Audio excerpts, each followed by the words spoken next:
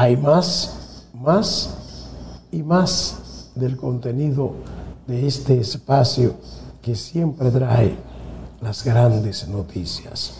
Se regó Leonel. Leonel otra vez le entra, le entra al gobierno de Abinader. Y esta vez Leonel le entró por la supuesta presión que se está ejerciendo contra periodistas, contra periodistas que critican el gobierno de Luis Rodolfo Abinader y Corona. El expresidente de la República y presidente de la Fuerza del Pueblo, Leonel Fernández, fue abordado sobre denuncias de que el gobierno de Luis Abinader presiona los periodistas que opinan contrario al poder. Expresó que lo único que garantiza la democracia es la libertad de expresión.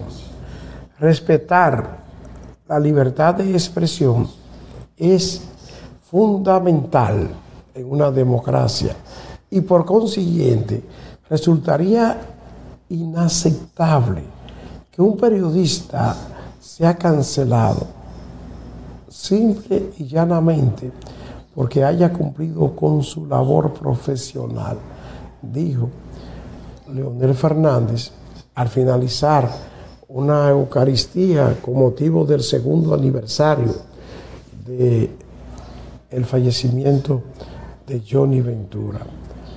Resaltó que la censura desmorona todo el edificio de la democracia debido a que existe un derecho a pensar contrario. Además, que cada persona tiene distintas opiniones sobre la labor de los funcionarios públicos.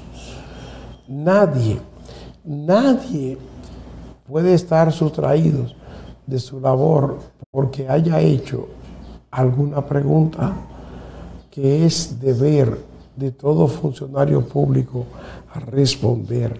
Nadie, nadie puede sentirse ofendido por eso. Esto dijo Leonel Fernández. Y es que aquí hay, aquí hay, señores, funcionarios que son, que son ñoño, que tienen una ñoñería extraordinaria y que no se le puede preguntar absolutamente nada. Y hay ocasiones en donde la presión se impone. Miren, hay un caso, por ejemplo, que ha recibido eh, crítica y ataque la periodista Alicia Ortega. ¿Por qué? Porque ella estaba manejando un caso que sucedió en Barcelona, España. Parece que la persona que la contactó quería que Alicia variara su estilo y que Alicia hiciera un, un paredón para colocar allí a, una cónsul dominicana y acabar con ella, porque este señor tiene un conflicto con esa cónsul. Yo no quiero decir que el Señor no tenga razón, quizás tiene razón de sobra. Ahora, la labor del periodista no tiene que ser ponerse de un lado para tirarle todos los dardos envenenados a un lado. No, la labor del periodista es presentar todas las caras de la moneda porque todo el mundo tiene derecho a defenderse. Entonces aquí, se cree que un periodista tiene que estar del lado de un bando y no es así. Entonces, así mismo, hay funcionarios a los que no se le puede preguntar, pero también hay gente que quiere que se calle, que se callen las cosas cuando son comprometedoras. El caso de Barcelona, por ejemplo, es un caso en el que pocos medios lo van a tratar y se van a hacer eco. ¿Por qué? Porque ese consulado estaba siendo dirigido por una persona allegada al presidente de la República. Allegada al presidente de la República, ¿por qué?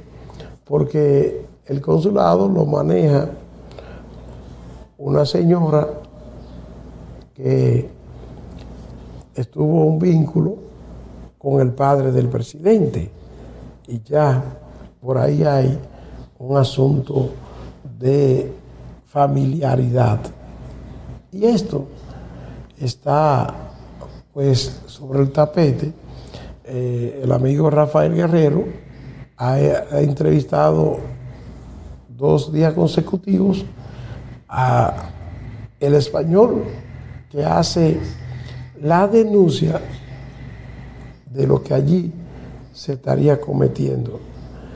Y esta denuncia, pues, tiene bajo investigación la República Dominicana, porque es que en ese consulado le habrían estado dando visas a personas de Pakistán y de otras naciones que hay que tener sumo cuidado con ellos.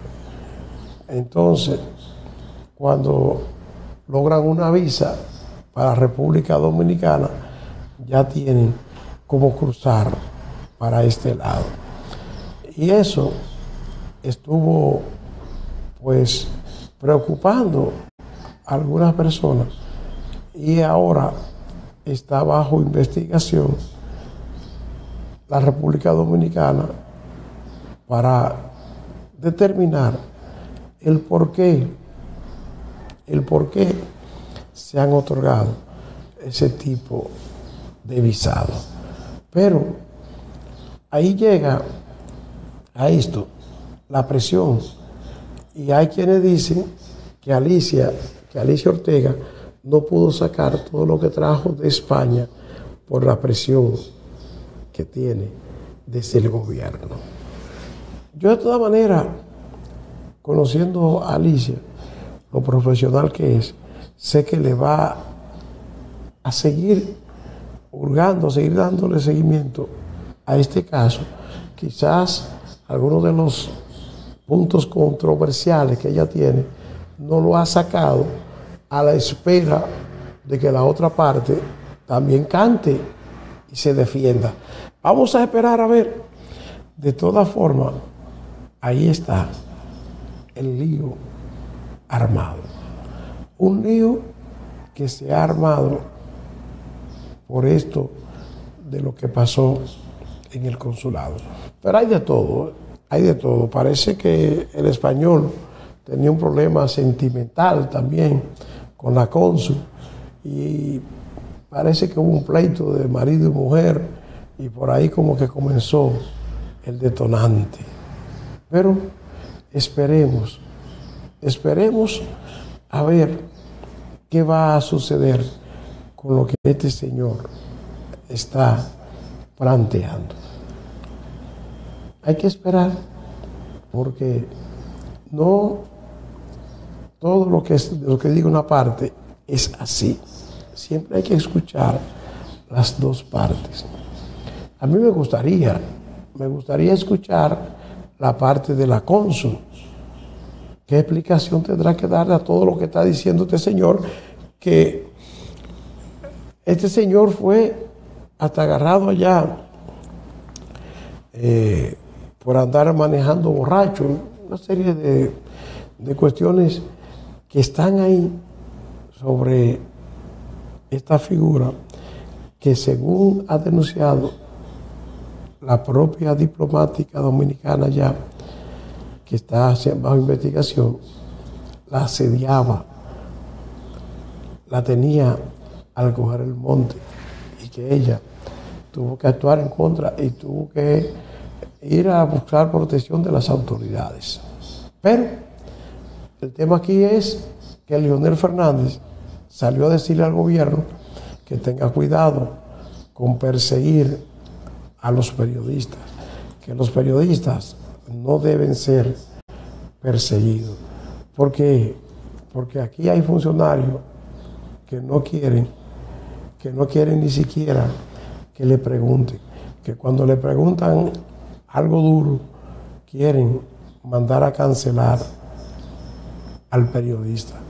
Sí, esto pasa con frecuencia de que presionan y llaman para que cancelen a tal o cual periodista. Bueno, si llaman aquí al Puerto TV, yo no sé cómo me, me van a cancelar a mí, porque si, si llaman al director, es conmigo que tienen que hablar. Y si llaman al dueño, también tienen que hablar conmigo. Entonces, tienen dificultad. Tienen serias dificultades para poder hablar o presionar en este tipo de medios. Ahí se frenó todo. Yo preferí abandonar el trabajo en los medios de comunicación precisamente por eso. Porque los gobiernos, las autoridades, hacen lo que quieran en los medios tradicionales. ¿Usted sabe por qué? Porque los medios tradicionales dependen de la publicidad que le coloca el gobierno. Y para no perder esa publicidad, caen en lo que sea. Y como yo no quiero ser cómplice de vagabundería, prefiero estar aquí en este canal que no recibe publicidad del gobierno, no porque nosotros no querramos, sino quieren poner, colocar publicidad y pagarla, nosotros la recibimos. Pero al gobierno no le interesa colocar publicidad en los medios donde sabe que se van a decir las cosas como son, independientemente que haya o no haya publicidad. Entonces, muchas veces es mejor uno estar así como estamos nosotros con escasez de recursos, pero con dignidad. Y donde podemos decir las cosas como son, con el debido respeto. Porque, repito, quizás Alicia Ortega no ha sacado todo lo que trajo desde España, porque hay cosas que ella tiene que confirmarla o por lo menos que buscar la opinión de la otra parte. Y me da pena cuando yo oigo cuestionar la labor de una profesional de la comunicación como es Alicia Ortega. Es una pena que haya gente que se ponga a hablar de una persona como esta. Pero vamos a dejar que el caso siga y a ver quién tiene la razón, porque a todas luces hay un interés de un hombre en hacer daño a una mujer. A todas luces, ese es el principal interés. Y que siga, que siga la investigación y que se determine qué pasó en ese consulado y que se castigue todo lo que se ha hecho mal. Esas son de las cosas que nosotros esperamos. Esas son de las cosas que nosotros esperamos que se vean. Sí. Y dejar que la justicia haga su parte allá en España y que se aclarezca esto de la visa que se le dieron a personas dudosas.